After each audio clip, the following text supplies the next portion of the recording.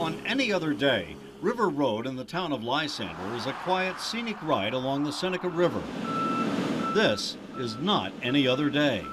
Ever since a sewer line broke on Saturday, crews with Onondaga County's Department of Water Environment Protection have been working feverishly day and night, non-stop. This pump house handles some 800,000 gallons of sewage each day. So in order to prevent that sewage from entering the Seneca River right across the street, they've been bringing in trucks to pump it out and take it away. It's a large-scale project.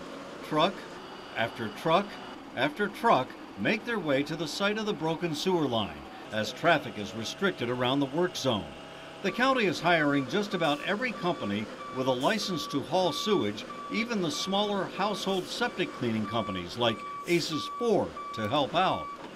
Terrible thing that happened. I mean, it's, it's been going into the river. We don't need that, but, Uh-huh. you know, hopefully they're going to take care of it as, as soon as possible.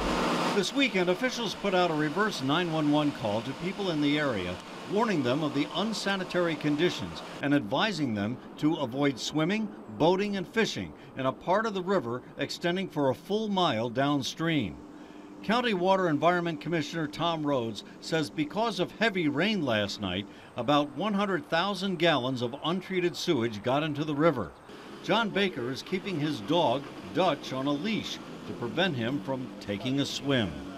we have to keep our septic system flowing. So eh, eh, as it comes in, you gotta you gotta take it out. So and better in the trucks than in the river. Many neighbors are concerned about how the sewer line break could affect the ecology of the Seneca River. I just came from uh, Phoenix actually and standing at the locks there and Yeah. thinking about, you know, what the pollution could do. While people I talk with are grateful that the county is doing what it can to protect the river, they're anxious for things to return to normal.